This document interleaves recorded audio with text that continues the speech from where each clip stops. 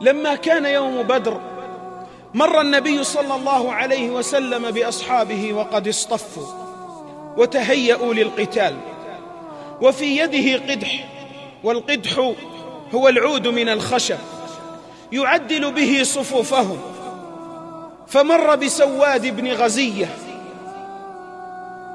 حليف بني عدي بن النجار وهو مستنثل من الصف. أي بارز متقدم لم يستوي في الصف مع إخوانه فغمزه بالعود. غمزه النبي صلى الله عليه وسلم أي ضربه ضربا خفيفا بذلك العود على بطنه وقال استوي يا سواد. أمر نبوي. أمر من النبي صلى الله عليه وسلم لأجل مصلحة الجيش وتنظيمه. وإذا بالجندي يقول لقائده يا رسول الله لقد أوجعتني. يا رسول الله لقد أوجعتني. وقد بعثك الله بالحق والعدل فأقدني. أي دعني أقتص منك. وقف رسول الله صلى الله عليه وسلم يسمع تلك المظلمة. وهو يومئذ من؟ النبي صلى الله عليه وسلم القائد الأعلى والحاكم والقاضي وإمام المسلمين جميعا بلا استثناء صاحب أعظم منصب ديني ودنيوي. وهو قبل ذلك كله سيد ولد آدم أجمعين. وخير من أقلته الغبراء واظلته الزرقاء. صلوات ربي وسلامه عليه. يقف صلى الله عليه وسلم لتلك المظلمة.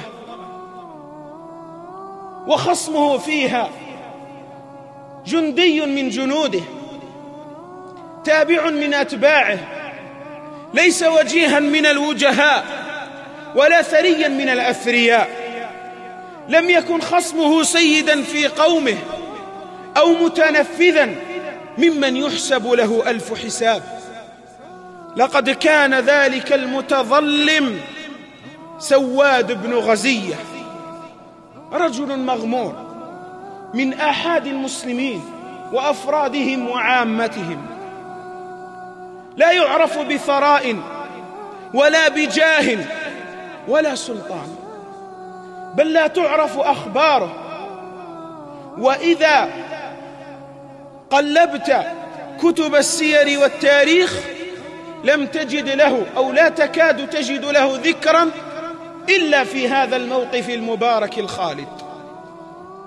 ثم هو يطالب رسول الله صلى الله عليه وسلم أن يقتص منه ويغمزه بالعصا أمام الناس جميعا.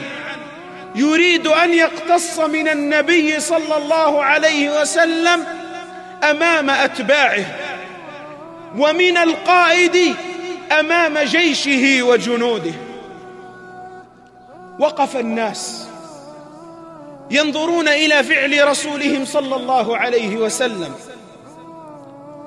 هل برر موقفه ذلك بخطأ سواد؟ وقال بأنه يستحق العقوبة لأنه أخل بالصف. هل حاول صلى الله عليه وسلم أن يرضيه بشيء من المال ليسكت ويتنازل عن دعواه؟ هل أخر القضية إلى انتهاء المعركة ليكون القصاص على انفراد؟ ابدا والله.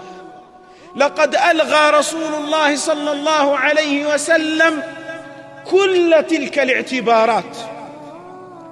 فما كاد سواد ينهي كلامه حتى مد النبي صلى الله عليه وسلم يده دون تردد ليكشف عن بطنه الشريف ويقول لصاحب المظلمة استقد.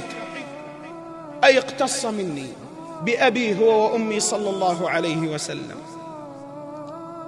فإذا بسواد رضي الله عنه يقبل على النبي صلى الله عليه وسلم فيعتنقه ثم يلصق وجهه ببطنه ويقبله ويقول يا رسول الله لقد حضر ما ترى من القتال فأردت أن يكون آخر العهد بك أن يمس جلدي جلدك يا رسول الله.